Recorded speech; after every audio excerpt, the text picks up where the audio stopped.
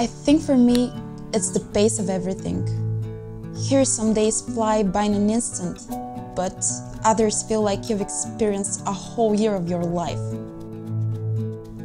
A day here can almost feel like a small journey.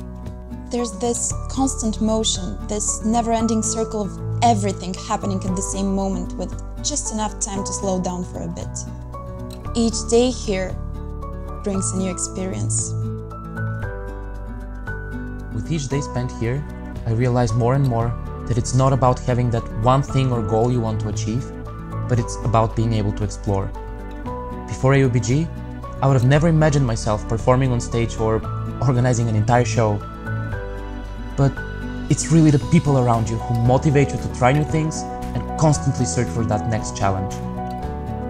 University for me is not only about choosing your career, but deciding who you want to be as a person.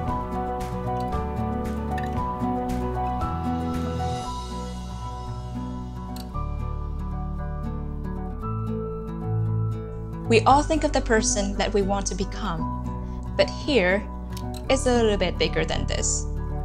It's the community. The community that is shaped by you and is shaping you at the same time. The community that is so diverse that you wonder how one place can unite so many people together. I feel that this community is not only about gathering together, but also about celebrating the achievements, fighting for different causes, and supporting each other long after you leave this place.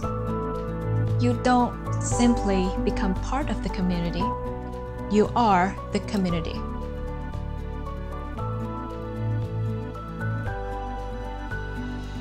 This place, it creates memories, embraces the moment, shapes the future.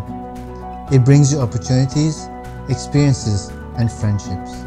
And even when it's time to say goodbye to it, it's at that moment that you realize it will always stay with you.